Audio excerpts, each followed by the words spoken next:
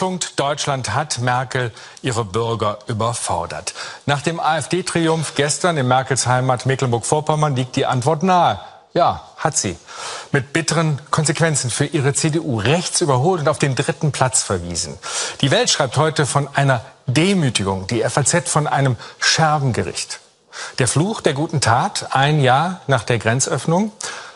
Fest steht, die Flüchtlinge haben nicht das Land, aber die politische Landschaft verändert. Es rumort. Deutschland ist politisiert wie lange nicht mehr. Proteststimmen von allen Parteien wandern nach rechts. Was folgt daraus für die Regierungspolitik, für den künftigen Kurs in der Flüchtlingsfrage? Hören wir da bald mal ein Wir haben verstanden? Hat aber fair mit diesen Gästen. Peter Altmaier, der Chef des Bundeskanzleramts, stellt klar, wir nehmen bei der Flüchtlingspolitik die Sorgen der Menschen sehr ernst. Guido Reil. Der AfD-Politiker ist überzeugt, CDU und SPD haben sich in der Flüchtlingspolitik von der Realität verabschiedet. Wir schaffen das nämlich nicht. Deshalb bin ich von der SPD zur AfD gewechselt und die ist auf dem Weg zur Volkspartei. Sowas nennt man Beständigkeit. Schauen Sie sich äh, das mal an. Zweimal Angela Merkel, ähnlicher Auftritt, ähnliche Botschaft. Dazwischen das Ja der Flüchtlinge. Das Motiv, in dem wir an diese Dinge herangehen, muss sein, muss sein, wir haben so vieles geschafft, wir schaffen das. Wir schaffen das und wo uns etwas im Wege steht, muss es überwunden werden. Ich bin heute wie damals davon überzeugt, dass wir es schaffen, unserer historischen Aufgabe, und dies ist eine historische Bewährungsaufgabe in Zeiten der Globalisierung, gerecht zu werden. Wir schaffen das und wir haben im Übrigen in den letzten elf Monaten sehr, sehr viel bereits geschafft. Herr Altmaier, dieser Satz äh, klingt ja so ein bisschen in der Wiederholung wie weiter so. Jetzt hat gestern zum ersten Mal eine rechte Partei rechts außen die Union überholt. Kann es da einen weiter so geben? Es, äh, es, ist eine Herausforderung für die CDU, für die CDU-geführte Bundesregierung. Aber es ist auch eine Herausforderung für SPD, Grüne, FDP, für alle Parteien, die sozusagen zu diesem System mit dazugehören. Äh, verzeihen Sie mir, wenn ich ein bisschen schneller reingehe, vielleicht äh, als sonst. Ähm, Sie sagen eine Herausforderung. Das ist etwas, was wir seit Monaten hören und ist eigentlich Politik-Sprech. Es gibt diesen wunderbaren Satz, den ein Opel-Slogan mal herausgehauen hat. Wir haben verstanden. Opel war in der Krise. Sie wollten den Hebel umlegen. Sie sagen, wir haben verstanden. Was haben Sie verstanden durch das Wahlergebnis gestern? Erst einmal, ähm, wenn ich sage, wir haben verstanden, dann meine ich damit, dass wir als Parteien überlegen müssen, wie wir dem falschen Eindruck entgegentreten dass sich hier in diesem Land alles nur noch um Flüchtlinge dreht. Die Menschen sagen sich, es muss auch noch andere Herausforderungen und Probleme geben als nur die, die Flüchtlingsfrage. Menschen wollen aber offenbar drüber reden. Das hat ja nicht zuletzt Ihr Kandidat in Mecklenburg-Vorpommern erlebt, äh, der mit der Kanzlerin vor 150 Leuten stand und feststellte, alle wollen nur über Flüchtlinge reden. Sie haben eben die Piraten angesprochen. Ja. Damit wollen Sie ja so ein bisschen ähm, ich interpretiere sie, was immer gefährlich ist, sagen, sowas verschwindet auch wieder. Die Piraten, alle haben darüber geredet, dann waren sie wieder weg. Sie haben am 10. März in einem Weltinterview gesagt, ich bin überzeugt, dass die Erfolge der AfD in sich zusammenfallen werden, sobald die Bürger spüren, dass wir die Herausforderung, da ist das Wort wieder, bewältigt haben, ja. wie ein Soufflé, das aus dem heißen Ofen an die frische Luft kommt. Ja. Herr Altmaier, es scheint eher ein Hefeteig zu sein, der geht auf. Wir kritisieren aber eine Partei, die nichts tut, um die Probleme zu lösen, um den Menschen die Sorgen zu nehmen, sondern diese Sorgen ausbeutet für populistische Das Schöne ist ja, wir müssen nicht über die Partei reden, wir können, wir können mit der Partei reden. Wir können, Dankeschön, Herr Altmaier, wir können mit der Partei reden. Herr Reil, wie ist die Wiederholung des Satzes, wir schaffen das äh, nach einem Jahr? Wie ist das bei Ihnen angekommen? Also für mich ist das eine völlige Katastrophe. Es wurde nichts verstanden. Dieses Weiter so, obwohl man doch wirklich sehen muss, dass diese ganzen Bedenken, die letztes Jahr die sogenannten besorgten Bürger hatten, Nee, unsere Gesellschaft ist ja gerade dabei, sich zu spalten. Letztes Jahr ging es los, die Gesellschaft hat sich gespalten in besorgte Bürger und in Gutmenschen. Und ein Jahr später müssen wir doch ganz klar sagen, die besorgten Bürger haben recht gehabt. Alle Ängste, Nöte und Befürchtungen, die die besorgten Bürger hatten, sind eingetreten. Und es ist noch viel schlimmer gekommen. Also ich hätte mir die Ereignisse von Köln im Traum nicht einfallen lassen. Da muss ich Ihnen ganz ehrlich sagen, obwohl ich große Sorgen hatte. Also ich erzähle seit dem 30. September 2015, wir schaffen es nicht. Und ich bin voll an der Seite der besorgten Bürger und ich kann alle Ängste und Nöte absolut nachvollziehen. Und die Entwicklung allein der letzten zwölf Monate bei mir in meiner Heimat, im Ruhrgebiet und im Essener Norden, die ist so erschütternd. Ich werde da gleich mal ein bisschen genauer darauf eingehen. Also da sehen die Menschen, das wird überhaupt nicht funktionieren. Welches Signal das wird in Zukunft auch nicht funktionieren. Welches Signal hätten Sie sich denn von Ihrer Kanzlerin, ist auch Ihre, erwartet? Also ich hätte mich gefreut, wenn sie gesagt hätte, ich habe was eingesehen, ich habe einen Fehler gemacht. So geht es nicht. Wir nehmen hier nicht jeden. Und wir nehmen hier nicht jeden jungen Mann ohne Pass in unserem Land. CDU rechts überholt. AfD wird zweitstärkste Partei in Schwerin. AfD demütigt die CDU. Bayerns Finanzminister Markus Söder fordert eine Reaktion. Das muss ein Weckruf für die Union sein. Die Stimmung der Bürger lässt sich nicht mehr ignorieren. Es braucht einen Kurswechsel in Berlin das Argument Liebe Politiker, hier sitzt ein Mann, von dem können Sie vielleicht etwas lernen, vielleicht äh, aus der Tatsache heraus, dass er was Unvorstellbares gemacht hat. Sie haben eben eine Frage gestellt. Was treibt die Leute um? Warum verhalten sie sich so? Sie haben einen Exkurs gemacht äh, über den autoritären Anteil in der SPD. Das heißt, Sie haben über einen Menschen auch gesprochen, ob das stimmt oder nicht, werden wir ja sehen. Über diesen äh, der, Menschen nicht. Der, nein, nicht über diesen Menschen, der 26 Jahre in der SPD war, äh, eigentlich äh, wie aus dem Klischeebilderbuch, Sie sind einer der letzten Bergleute, die es da noch gibt, äh, Steiger. Äh, wie würden Sie Steiger. Ja. Wie würden Sie die Frage von Frau Schwan, die sie eben rhetorisch gestellt hat, beantworten? Was treibt sie um? Vor allen Dingen, was hat sie aus der SPD rausgetrieben und in die AfD rein? Also erstmal, ich bin nicht nur Steiger, ich bin auch noch Betriebsrat und Gewerkschaftler. Also mehr SPD kann man eigentlich nicht sein. Sie so. sind es aber nicht mehr. Wie, ich bin nicht mehr. Sie sind nicht mehr SPD. Aber ich bin auch Betriebsrat und Gewerkschaftler und vertrete weiter die Interessen meiner Leute, der Arbeiter und der kleinen Leute. Und da lege ich ganz viel Wert drauf. Und das mache ich jetzt in der AfD. Und ich glaube, da bin ich gut aufgehoben, weil das die einzige Partei ist, die sich meiner Meinung nach nicht der Realität verschließt. Und die Realität, die sehe ich in Essen jeden Tag. Sie haben es angesprochen, wir haben immer noch ein Jahr nach, wir schaffen das, viele Flüchtlinge in Zelten. So, und die werden auch noch eine ganze Zeit lang bleiben, weil es gibt noch nicht mal den Wohnraum, den ersten Schritt, es gibt keine Wohnung. In Essen fehlen 16.000 Wohnungen, die müssen jetzt noch gebaut werden. Die haben noch nicht mal die Fläche, um 16.000 Wohnungen zu bauen, geschweige denn das Geld.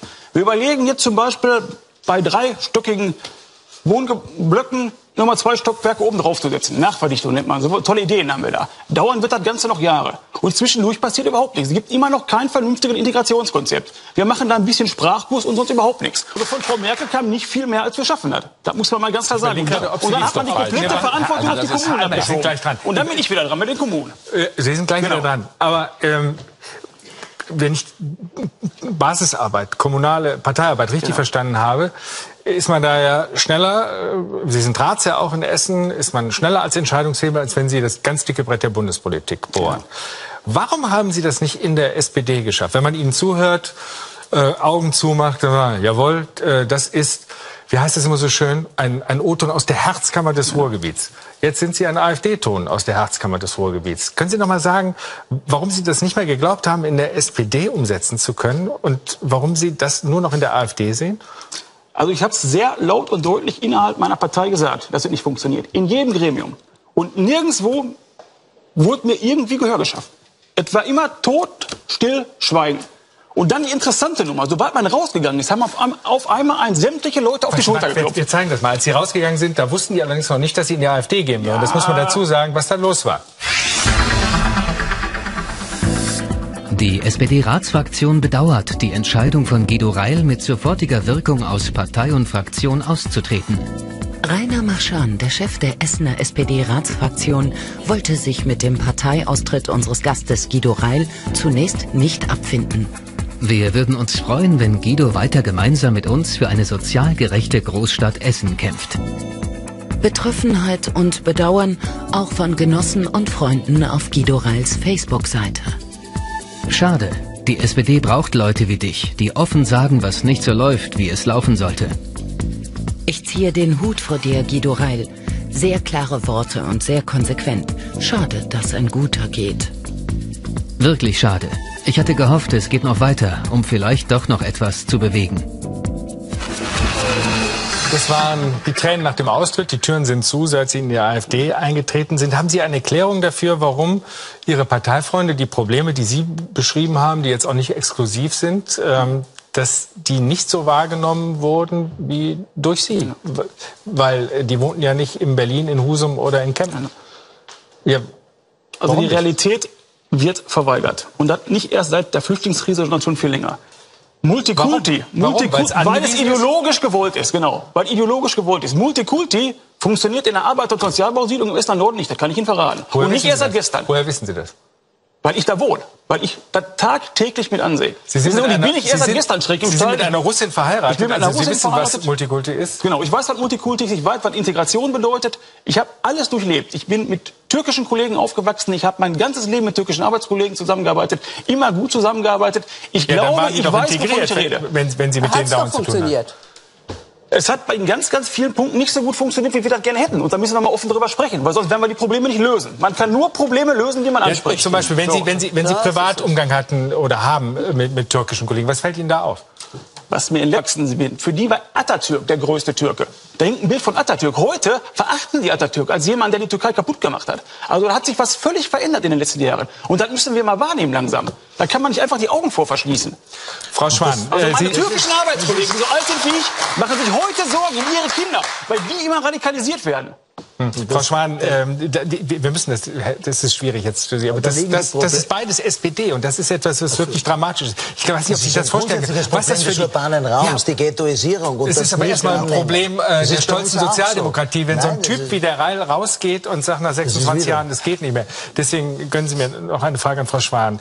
Das ist sozialdemokratisches Kernland. Ich habe es eben schon gesagt, in Nordrhein-Westfalen, in Essen. Was bedeutet das äh, für die SPD? Vielleicht auch nur die SPD in Nordrhein-Westfalen. Ich will nicht verallgemeinern. Äh, Menschen wie Reil zu verlieren, sie jedenfalls nicht halten zu können. Natürlich muss man realitätstüchtig bleiben. Ich plädiere immer dafür. Dieselben Geschichten gibt es oder ähnliche auch in Ihrer Partei, bei Konservativen in Hessen oder in Baden-Württemberg, die sich eben in der, in der Union, in der CDU nicht mehr zu Hause fühlen. Was lernen Sie daraus, wenn Sie ihm zuhören? Zunächst einmal ähm, glaube ich, dass Herr Reil aufgrund seiner Erfahrung ähm, mit sich gerungen und gekämpft hat und eine Entscheidung getroffen hat. Ich halte die für falsch, weil die AfD bisher, seit es sie gibt, kein einziges Problem gelöst hat, keine Integration vorangebracht hat. Ich habe hier in der Sendung mal eine überzeugte Grünwählerin gehabt. Die hat 20 Jahre lang Grün gewählt, war auch mal Mitglied, hat dann mal AfD gewählt, weil sie gesagt hat, ich möchte den größtmöglichen Protest loswerden, weil ich habe sonst keine Adresse dafür. Ist es, Sie sind jetzt übergetreten, aber ist es bei Ihnen auch äh, ein vielleicht größtmöglicher Protest äh, und dass Sie im Herzen, ich will Sie da gar nicht zurückquatschen in die SPD, aber tatsächlich ähm, jemand bleiben, der dasselbe will, nur einen Böller loslassen möchte und so versuchen möchte, etwas zu bewegen, weil Herr Altmaier wirft ja der AfD vor, bisher nichts bewegt zu haben. Ist schwierig bei einer Partei, die noch keine Regierungsbildung hat. Die Frage ist ja, wird sie Koalitionsangebote bekommen? Glauben Sie, etwas bewirken zu können, indem Sie diesen Böller losgelassen haben?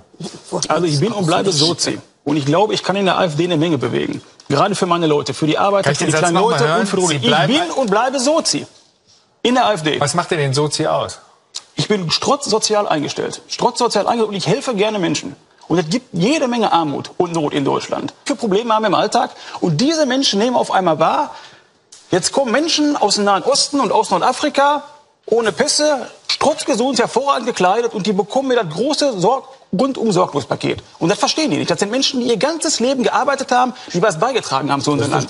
Und jetzt kommen Menschen aus Nordafrika und aus dem Nahen Osten, aus dem Gebiet der Erde, das am gewalttätigsten, frauenfeindlichsten, antisemitischen und homophobs ist. Und wir denken, das wird alles hier gut und wir schaffen das?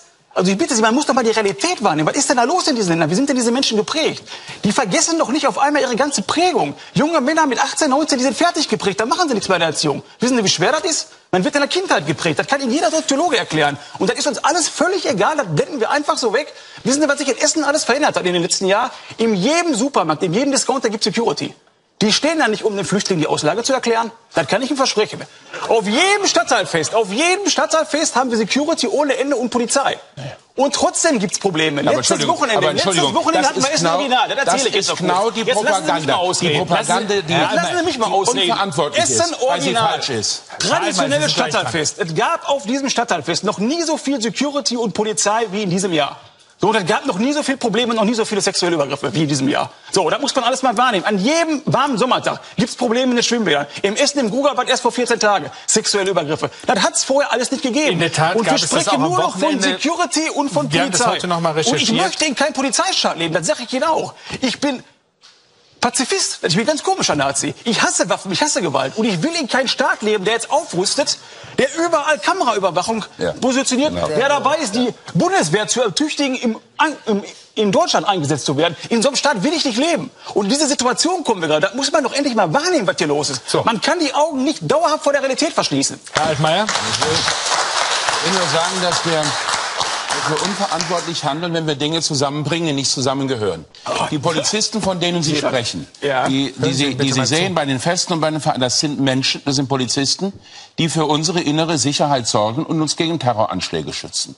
Und die Terroranschläge, wir haben in Deutschland zwei erlebt, in Belgien und in Nizza und äh, in Paris, auch in München übrigens, wo zehn Menschen umkamen, erlebt. Das waren keine Flüchtlinge aus dieser Flüchtlingswelle. Das waren Menschen, die in diesen Ländern geboren waren, aufgewachsen waren. Wir haben radikale Gefährder, die in Syrien waren als Kämpfer. Die haben die deutsche Staatsbürgerschaft. Die sind zurückgekehrt. Da sind auch Konvertiten dabei. Herr Altmaier, das sind ich Menschen, verstehe- die erzählt. keinen Ich hab von sexuellen Übergriffen erzählt, Und zu von tun, Gewalttaten. und so nun so zu tun, als ob Hunderttausende von friedlichen Flüchtlingen, die vor einer Gefahr für Leib und Leben geflüchtet sind und nichts anderes wollen, als friedlich zu leben, die Deutsch lernen, Ja, die sich natürlich. beruflich integrieren wollen, als ob das der Grund dafür ist, dass die Polizei vor den Geschäften und vor den Vereinsfesten steht. Das ist unverantwortlich. Und deshalb möchte ich Die das stehen gerne ja klarstellen. Das eine hat mit dem anderen nichts zu tun. Möchte, Moment, sondern ich möchte eins Gewalt. einwerfen. Stehen die da. Ich möchte Nicht wegen Terror. eins einwerfen. Frau Schwan. Wir haben immer wieder die Erkenntnis, der, die größte Zahl von sexuellen Übergriffen passiert in den deutschen Familien. Das ist das größte Problem. Und nicht die Übergriffe, die Sie nennen. Also wenn ich meine Also Zeitung gucke, was da so alles passiert Essen. Realität, Das ist eine völlig andere, das ist eine völlig andere Realität. Nein. Da sind ein Prozent der Bevölkerung Flüchtlinge, von 90 Prozent der Delikte darf, darf, ich mal vorliegen. gerade, darf ich mal gerade jetzt äh, die Gemüter ein bisschen beruhigen? Schauen Sie sich das Bild bitte mal an. Haben Sie gerade mit Ihrem Satz reflexartig die größte sexuelle Gewalt passiert in deutschen Familien? Mag sein. Größte wir haben, Zahl der ja, wir haben Gewalt. 80 Millionen Menschen in Deutschland. Ist ja. Dunkelziffer, bewiesen ist es nicht. Nee, Das, Also, das also, war Köln. wir- Das war Köln. Wir haben heute noch mal telefoniert. Über 600 ermittelte sexuelle Übergriffe. Ihre reflexartige Reaktion zu sagen, ähm, die, das größte Problem ist die sexuelle Gewalt in deutschen Familien.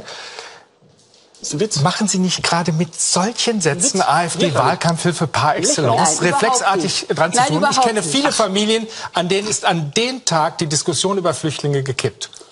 Nein, also ich muss erstens sagen, nach allem, was ich weiß im Vorlauf von Köln, ist es nicht das erste Mal. In den Jahren Genau. davor gab es das genauso solche. Gewaltübergriffe. Nicht genauso. Das es war vielleicht nicht in der, äh, der genauen Zahl, aber es gab sie vorher. Was Worauf macht ich es das, hinaus will, ist Entschuldigung, Folgendes. Frau Schwan, was macht es das besser, wenn es das schon mal gab, wenn wir jetzt wissen, dass es vor allen Dingen Nordafrikaner waren, wenn wir jetzt wissen, dass ein SPD beeinflusstes äh, Polizeipräsidium mit einem SPD geführten Innenminister nach vielen Jahren äh, Statistiken äh, so gepflegt haben, dass es nicht publik wurde, dass es erst äh, an die tausend Fälle bedurfte, um das ans Tageslicht zu bringen, was Sie jetzt ans Tageslicht bringen, indem Sie sagen, das gab schon immer. Da müssen Sie sich doch entscheiden, was war denn? Wenn Sie von Realitätstüchtigkeit sprechen, dann bitte ich darum zu akzeptieren, dass es unterschiedliche Wahrnehmungen der Realität gibt. Dort, wo ich Verantwortung wahrnehmen kann, tue ich es auch als Politiker. Sie sagen, äh, ich bin nicht in Europa. Ich möchte gerade gerne daran glauben, dass die europäische Lösung äh, endlich, die Menschen haben den Schuss gehört, nicht mehr so fern ist. Und dann gucke ich Herrn Altmaier an und dann fällt mir ein, dass Herr Altmaier schon einmal an diese europäische Lösung appelliert. Am besten gucken wir uns das mal an. Die Bundeskanzlerin wird äh, dafür sorgen und wir alle äh, werden sie unterstützen, dass die 160.000 verteilt werden, weil es eine Aufgabe ist, die kein einziges Land alleine schultern kann, sondern eine gesamteuropäische Verantwortung entsprechend unserer europäischen Werte. 160.000 Flüchtlinge umverteilen. Eine gesamteuropäische Verantwortung, die nach dem Willen der Regierungschefs möglichst schnell umgesetzt werden sollte. Das Ergebnis? Bis heute, also nach elf Monaten, sind gerade einmal 4.513 Flüchtlinge umverteilt. Geht es in dem Tempo weiter, dauert die Aktion noch bis ins Jahr 2048. Wir, wir haben es hochgerechnet, Herr Altmaier, den muss ich jetzt schon fragen, weil er hat es ja da mit viel Hoffnung äh, an die Wand gemalt. Äh, bis 2048 würde das dauern. Geben Sie uns doch bitte mal Hoffnung, Liebe, Glauben, dass äh, das, was Herr Sobotka als europäische Lösung anmahnt, Frau Schwan ähm, als Lösung sieht, Sie als Lösung ähm, auch sehen, fordern, Ja, also erstmal, dass das es- klappen soll, wenn ich es diese Zahlen erstmal- sehe. Dass es, rumpelig, dass es rumpelig und poltern zugeht und langsam, das ist ja bekannt. Brigitte Büscher und unsere Zuschauer.